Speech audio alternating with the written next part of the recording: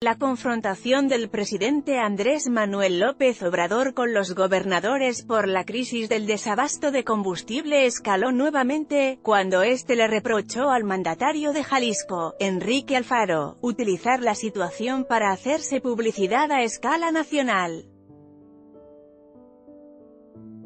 Y lanzó una advertencia a los gobernadores, no nos vamos a dejar chantajear.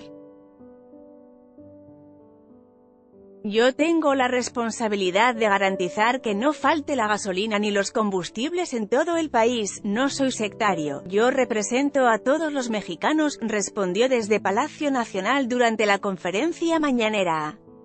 corrupción provocó red de contubernio y se ejemplifica con guachicoleo, SFP López Obrador rechazó que la escasez de combustible sea resultado de una decisión política, sino por los constantes sabotajes al ducto Salamanca-Guadalajara que no han podido controlar, tan solo ayer fue intervenido en cuatro ocasiones y tuvieron que sacarlo de operación.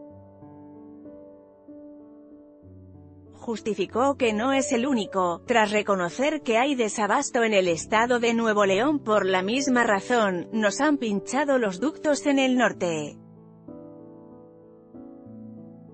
Desde que inició la ola de desabasto de combustible en los estados de Guanajuato, Jalisco y Michoacán, los gobernadores de los partidos de oposición han acusado que el director de Petróleos Mexicanos, Octavio Romero Oropeza, no atiende el teléfono y tampoco ha cumplido su compromiso de enviar pipas con gasolina a las entidades.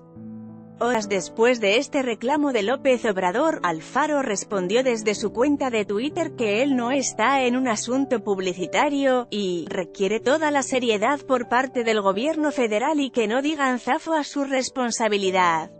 Enrique Alfaro Detalló que son 16 los municipios que no cuentan con combustible, mientras que dos cuentan con menos del 15% de abasto de hidrocarburo, por lo que aclaró, este es el tamaño de la crisis que se vive en el estado.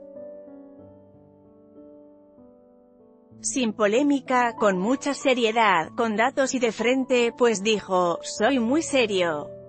Me canso ganso. Para el gobernador de Guanajuato, Diego Singüe Rodríguez Vallejo, Petróleos Mexicanos no dio una respuesta inmediata y hasta ahora solo ha cumplido a medias con lo prometido. Y agregó, no somos agachones, sino gente civilizada que pide a través del diálogo que se resuelva el grave problema.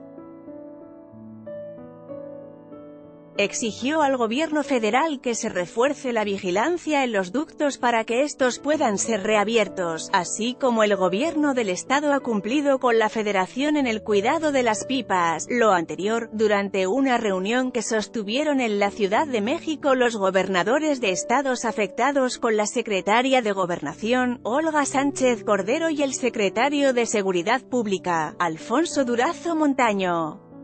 Sociedad niega Pemex desabasto en Monterrey dijo que él como gobernador, debe velar por Guanajuato y exige que haya combustible, tiene manera de abastecernos, porque ya tenemos habilitado Irapuato para recibir ferrotanques.